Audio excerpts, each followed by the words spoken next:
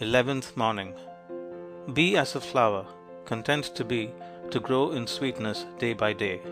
If thou wouldst perfect thyself in knowledge, perfect thyself in love. If thou wouldst reach the highest, ceaselessly cultivate a loving and compassionate heart. To him who chooses goodness, sacrificing all, is given that which is more than and includes all. Eleventh Evening The great law never cheats any man of his just due.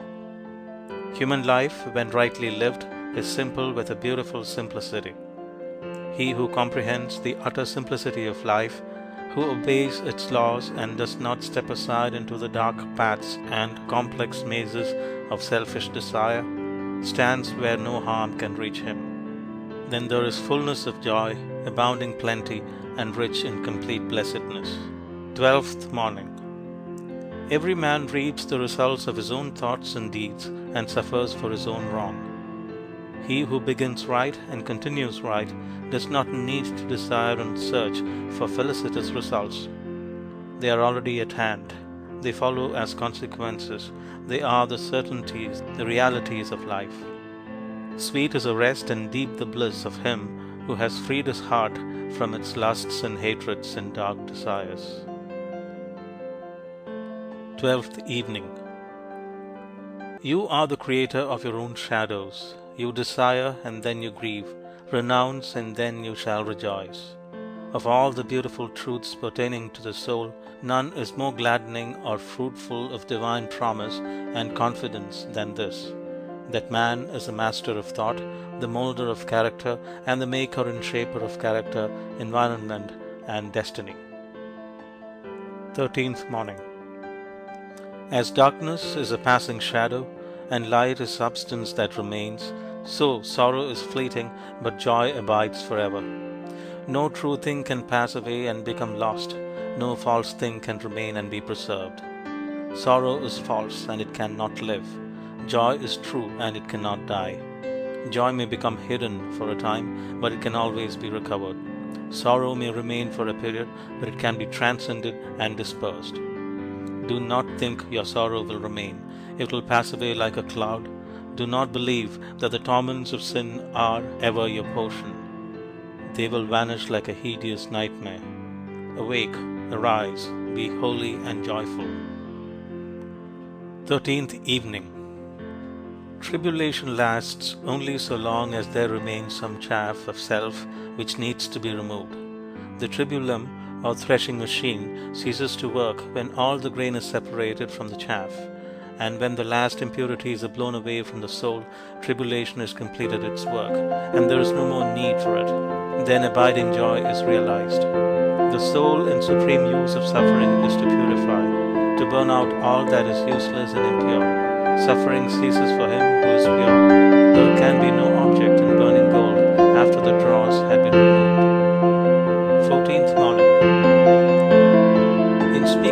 Self-control, one is easily misunderstood. It should not be associated with destructive repression, but with a constructive expression. A man is happy, wise, and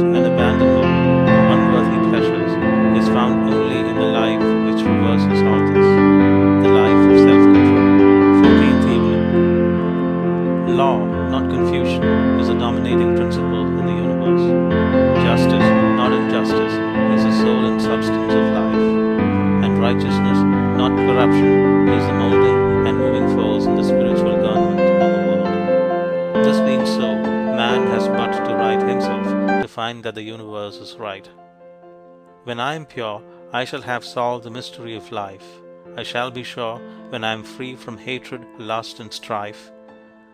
I am in truth, and truth abides in me. I shall be safe and sane and wholly free when I am pure. Fifteenth morning. If men only understood that their hatred and resentment slays their peace and sweet contentment, hurts themselves, helps not another, does not cheer one lonely brother, they would seek the better doing of good deeds which leaves no ruing, if they only understood. If men only understood how love conquers, how prevailing is its might grim hate assailing how compassion endeth sorrow, maketh wise and doth not borrow. Pain of passion they would ever live in love, in hatred never, if they only understood. Fifteenth evening. The grace and beauty that were in Jesus can be of no value to you, cannot be understood by you, unless they are also in you, and they can never be in you until you practice them. For, apart from doing, the qualities which constitute goodness do not, as far as you are concerned, exist. To adore Jesus for his good qualities is a long step towards truth, but to practice those qualities is truth itself. And he who truly adores the perfection of another will not rest content in his own imperfection, but will fashion his soul after the likeness of that other. Therefore, thou who adorest Jesus for his divine qualities, practice those qualities thyself, and thou shalt be divine. Sixteenth morning. Let a man realize that life in its totality proceeds from the mind, and lo, the way of blessedness is opened up to him. For he will then discover that he possesses the power to rule his mind and to fashion it in accordance with his ideal. So will he elect to strongly and steadfastly walk those pathways of thought and action which are altogether excellent. To him life will become beautiful and sacred, and sooner or later he will put to flight all evil, confusion, and suffering. For it is impossible for a man to fall short of liberation, enlightenment, and peace who guards with unwearying diligence the gateway of his heart. Sixteenth Evening by constantly overcoming self, a man gains a knowledge of the subtle intricacies of his mind, and it is this divine knowledge which enables him to become established in calmness. Without self knowledge, there can be no abiding peace of mind, and those who are carried away by tempestuous passions cannot approach the holy place where calmness reigns. The weak man is like one who, having mounted a fiery steed, allows it to run away with him and carry him whithersoever it wills.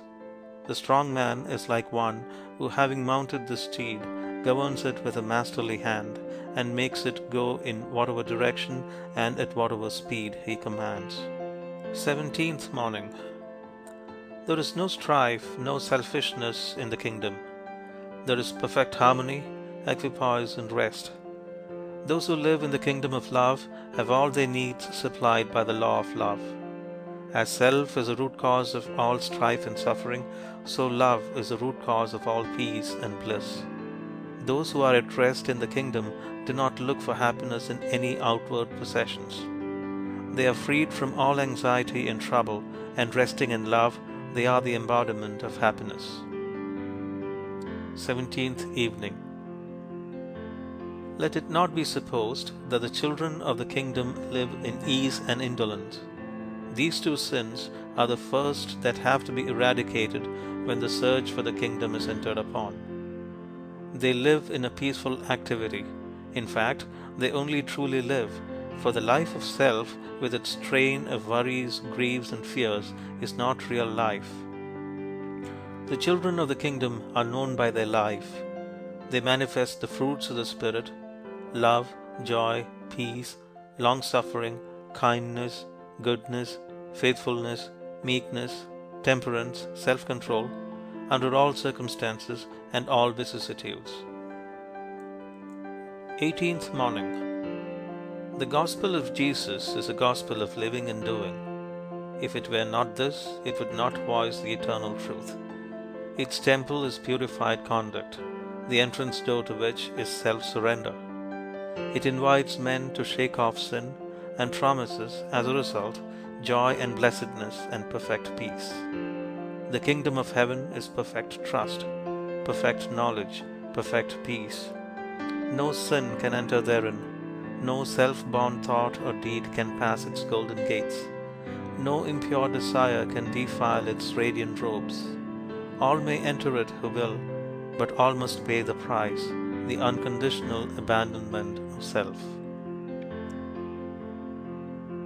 18th Evening I say this and know it to be truth that circumstances can only affect you in so far as you allow them to do so.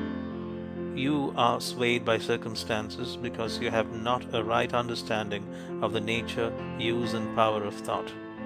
You believe, and upon this little word belief hang all our joys and sorrows, that outward things have the power to make or mar your life. By so doing, you submit to those outward things, confess that you are their slave, and they your unconditional master. By so doing, you invest them with a power which they do not of themselves possess, and you succumb in reality not to the circumstances, but to the gloom or gladness, the fear or hope, the strength or weakness, which your thought sphere has thrown around them. Nineteenth morning. If you are one of those who are praying for and looking forward to a happier world beyond the grave, here is a message of gladness for you. You may enter into and realize that happy world now. It fills the whole universe and it is within you, waiting for you to find, acknowledge, and possess. Said one who understood the inner laws of being, When men shall say, Lo here, or Lo there, go not after them. The kingdom of God is within you. Nineteenth Evening Heaven and hell are inward states. Sink into self and all its gratifications, and you sink into hell. Rise above self into that state of consciousness which is the utter denial and forgetfulness of self, and you enter heaven. So long as you persist in selfishly seeking for your own personal happiness, so long will happiness elude you, and you will be sowing the seeds of wretchedness. In so far as you succeed in losing yourself in the service of others, in that measure will happiness come to you, and you will reap a harvest of bliss. Twentieth morning. Sympathy given can never be wasted. One aspect of sympathy is that of pity. Pity for the distressed or pain stricken, with a desire to alleviate or help them in their sufferings. The world needs more of this divine quality. For pity makes the world soft to the weak and noble for the strong. Another form of sympathy is that of rejoicing with others who are more successful than ourselves, as though their success were our own. Twentieth evening. Sweet are companionships, pleasures, and material comforts, but they change and fade away.